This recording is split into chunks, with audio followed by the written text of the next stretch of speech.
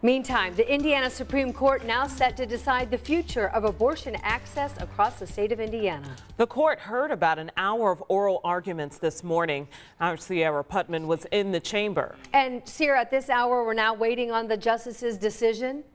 Uh, that's right, Anne Marie.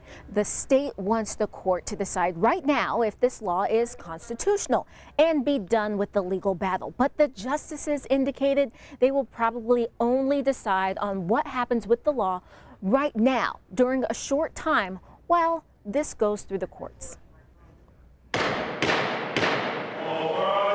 Five justices, one woman, and four men are tasked with deciding if a new Indiana law limiting abortions is too restrictive. Liberty has meaning.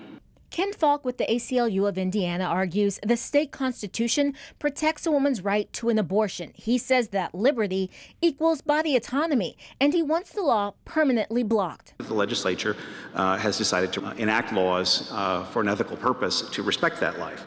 The state solicitor general, Tom Fisher, ultimately thinks the law should take effect. He wants the high court to make a final decision that the new abortion law is constitutional.